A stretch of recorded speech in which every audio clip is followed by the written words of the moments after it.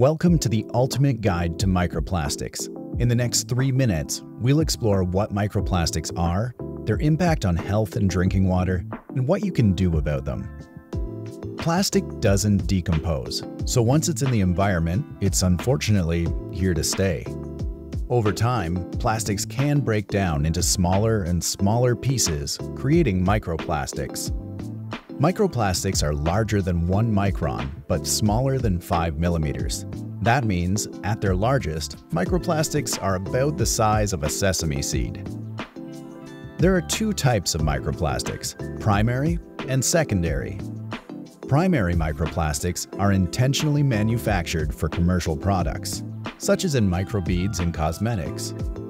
Secondary microplastics are the indirect result of larger plastics breaking down due to everyday wear and tear, exposure to chemicals, and natural decay. From our oceans to the air we breathe to the water we drink, microplastics are everywhere. Microplastics are a relatively new field of study. Both the World Health Organization and the CDC have said there isn't enough evidence linking microplastics to concrete health effects but potential risks are being studied. In the United States, microplastics remain largely unregulated in drinking water.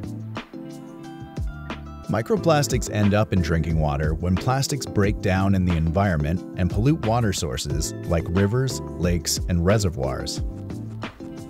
Once microplastics have entered a water system, they cannot be seen, smelled, or tasted. The same is true for microplastics in bottled water. The only way to know if microplastics are present is to have your water tested by a certified lab. Lab testing is critical because it's typically the smaller microplastic sizes that persist in water systems after treatment. Unfortunately, at-home testing options like test strips cannot identify microplastics.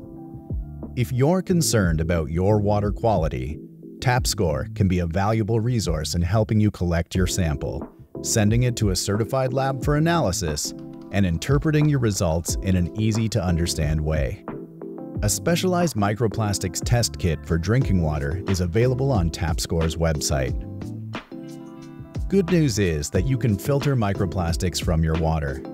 Consider reverse osmosis, micro, ultra, and nano filtration or certified active carbon filters. Make sure your filter's pore size is smaller than 2.5 microns, and always confirm that the filter has an NSF or ANSI 401 certification for optimal results. While the full extent of the impact of microplastics on human health is still unknown, being informed and taking proactive steps to test and filter your water can contribute to a healthier future.